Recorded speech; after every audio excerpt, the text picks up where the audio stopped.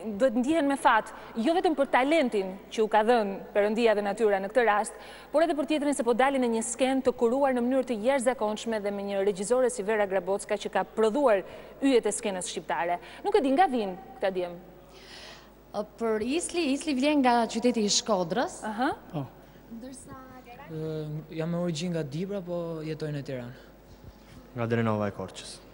Vetëm një pyetje kam, kush më përgjigjet njëri nga të tre, se nuk dua t'ju marr dhe kohën, po. sepse janë emocionet e fundit, ç'do të thotë, të ndryshosh brenda një kohë kaq të shkurtër, të jetojnë në qytetin e tyre, pranë miqve, shokëve, me një ëndërr të madhe për t'u bërë yll i skenës, por që jam e bindur, nuk kanë menduar dot që mund ta realizonin kaq shpejt, për t'u ngjitur në një skenë ku sot sytë e gjithë shqiptarëve do të jenë përballë tyre. Si e konceptojnë këtë kapërcim? Sonila pyet se si e konceptoni ju kapërcimin nga një jetë e qetë ku rrinit me miqtë, me familjarët tuaj edhe ardhja juaj në një skenë gjigante siç është ajo e X Factor.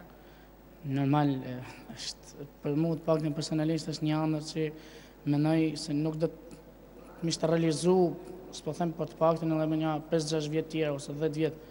Dhe X Factor ma dha këtë mundësi të paktën minimumin atë famën nëse do ta quajmë për vetëm pak kohë dhe kjo është një një shtysë, një nuk e di, një trampolinë shumë e madhe për për të ardhmen normal, sepse Drilon, po, ndërkohë që po i lë djemtë të lirë, emocionet janë të forta, unë dua të pregatiten, i falenderoj mhm. shumë që ishin me ABC News për ta ndarë me ne. Çuna do t'i lejmë të lirë sepse normalisht do të pregatiten, ndërsa Sonila surpriza të tjera ka, jo vetëm lidhur me studion ku Lumani mund të na flasë më tej për këto, edhe përsa i përket prezantimit, por një tjetër risi shumë e madhe është edhe Extra Factor, që do të jetë një emision ku kryeredaktori do të jetë pikërisht Ilda Lumani, që do të vi gjatë ditëve të ardhshme në televizionin Klan, pikërisht për t'u marrë lidhur me çdo gjë që ndodh në X Factor dhe për këtë më mirë mund të na flasi edhe zonja Lumani. Në fakt sot festa është X Factor dhe të gjithë jemi të emocionuar dhe mezi po e presim nisjen, startin e kësaj rruge të gjatë që është bërë që nga audicionet në shtator, punën e madhe që është bërë këtu në studion e Teatrit Klan dhe siç e shihni gjithçka shkëlqen, por besoj që do të shkëlqejë edhe më shumë kur 16 konkurrentët të vinë këtu dhe kam besim dhe kini për t'u befasuar pasi ata janë përgatitur dhe do të vinë të transformuar në interpretim, në look Do të jenë vërtet artistë me plot kuptimin e fjalës. Ata unë i takova gjatë kohës që bëhen gati dhe janë shumë të emocionuar, por në prova kanë dëshmuar që janë mjaft mirë.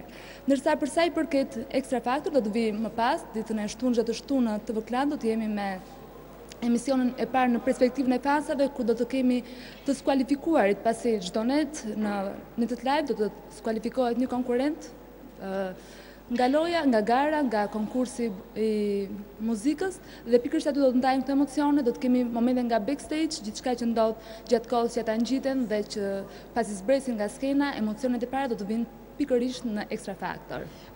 Gjatë gjithë audicioneve ne jemi mësuar që Alketa Vejsiun ta shikojmë në backstage duke pritur konkurrentët, duke u dhënë kurajo. Sonte mund ta zbuloni diçka më tepër si do të vijë ajo?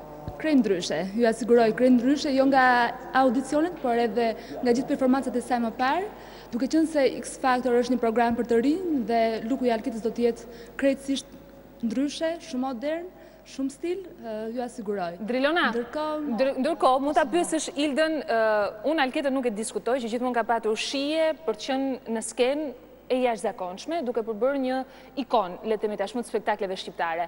Më intereson njeriu i cili e kam lutur kaq shumë ta kem, ta ftoj, të më flasë për X Factor-in dhe nuk e ka bërë një gjë të tillë, por nuk e ka bërë për shumë gjëra të tjera, duke dashur të flasi vetëm me punën e saj, është Vera Grabocka.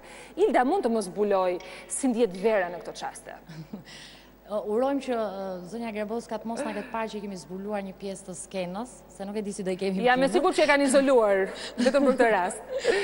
Sonila, po. pyet nëse mund të zbulosh diçka lidhur me atë se si mund të ndjehet Vera në këto momente, duke qenë se gjatë gjithë kësaj periudhe ka patur shumë punë, Sonila ka insistuar që ajo të na japi një intervistë, por që nuk e ka dhënë. Mund të zbulosh pak nga emocionet e saj? Në fakt, ajo para pak çastesh ishte këtu vërdallë, duke parë detajet e fundit, dhe në fakt çdo gjë është gati dhe më shumë është preokupim se sa për të ndryshuar diçka, sepse tashmë ka përfunduar çdo gjë dhe në 9, në orën 21 ne do të jemi këtu live. Për sa i përket zonjës Grabocka, unë asistova pak çaste më përpara se të vinim këtu për intervistën në zyrën e saj, e cila po bënte telefonatat e fundit, telefonatat e fatit me njerëzit që ajo ka nevojë për bekimin e tyre, mes të cilëve ishte një telefonatë me vajzën e saj që ndodhet në Los Angeles, Lindën, e cila do të na ndjekë live sot, ashtu si gjithë shqiptarët që do të na ndjekin në gjithë botën dhe në një transmetim të parë high definition. Sonila? Edhe diçka tjetër, edhe një pyetje të fundit për Ildën sepse duhet ta lë të lirë. Skenografia është e Gaetano Kastelit. Është skenograf i madh i cili punën e fundit kishte Sanremon dhe punën më të re e ka të sotme në shoun e Panarielos, ditën e nesërme në fakt, konkretisht shoun e Panarielos. Është drejtor fotografie Marcelo Jaceti, i cili vjen pikërisht nga X Factor, i transmetuar në Sky, ndriçimi që kanë punuar inxhinierë nga shumë vende të botës për ta realizuar. Ilda, a mendon që produkti në vetvete që i kanë mbledhur të gjithë këta inxhinierë, siç është zëri i të rinjve, a do të jetë në përputhje me teknologjinë? Pra, në këtë rast mos fiton njëra krahasuar me tjetrën? Sonila pyet nëse produkti i X Factor, duke patur parasysh të gjithë, duke nisur që nga Gaetano Castelli apo të gjithë specialistët e tjerë nga mbarë bota që kanë punuar për teknologjinë, a do të jetë produkti i këtij spektakli, i kësaj gare në përputhje me të gjithë teknologjinë që është investuar.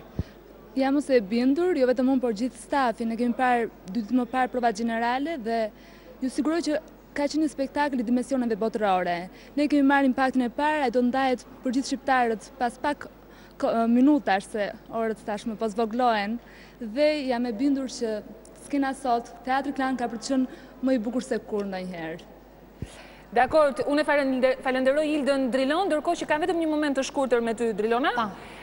Ti ke përballë dhe publikun tashmë që është duke mbushur këtë skenë. Do të jenë rreth katërqind të ftuar, mos gaboj? Janë rreth katërqind të ftuar, duke përfshirë shumë njerëz të cilët në fakt kanë patur një interesim shumë të madh për të gjetur një biletë për në X Factor, por që Ilda do të na plotësojë. Po, dakord, dakord. Në fakt meqë di disa detaje. Kanë ardhur mjaft njerëz nga Kosova për faktin sepse ne kemi disa konkurrentë që janë nga Kosova dhe sapo dëgjova para se të vija këtu që Pesëdhjetë ftesa i kishte marrë vetëm një konkurrent nga Kosova që i vinë njerëz jo vetëm nga Kosova, por nga Gjermania, të afërmit për ta ndjekur në natën e parë live. Kështu që edhe publiku këtu në sallë ka për të qenë nga gjithë Shqipëria dhe jo vetëm.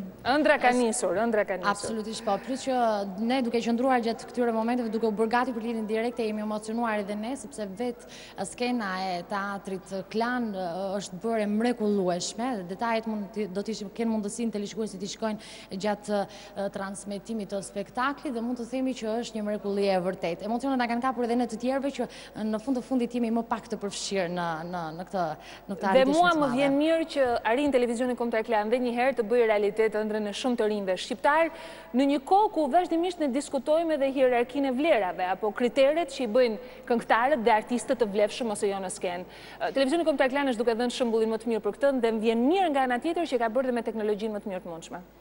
Aq më tepër që tashmë epoka e re ose pranvera e re në Klan do të vijë me high definition dhe do të startojë pikërisht nga X Factor. Kjo është një nga gjërat që edhe konkurrentët po e ndjejnë më shumë, duke parë plot grimin, të gjithë duke u kuruar me shumë kujdes, të gjithë duke bërë uh, përgatitjet e fundit me veshjen. Po po, është një super produksion, super prodhim Drilona i cili Do të jetë një shkollë jo vetëm për ata të rinj që do të jenë pjesë e konkurimit dhe synojnë të realizojnë ëndrrën e tyre, por edhe për të gjithë industrinë mediatike. Është konsideruar shpesh si shumë e ashpër, si një mekanizëm që po i hyre mund edhe të të shtrydhë fort, por në vetvete ajo tregon edhe se si realizohet një punë e tërë që në skenë të jenë ata që i meritojnë vërtet këto vlera. I urojmë rrugëtim të mbarë X Factor-it, i uroj punë të mbarë kryeredaktores dhe mikeshës Ilda Lumani, Vera Grabocës, Alketa Vejsiut dhe mbi të gjitha atij që është Producenti kryesor i këtij programi, Aleksandër Frangajt. Drilon, faleminderit për lidhjen. Faleminderit, Sonila.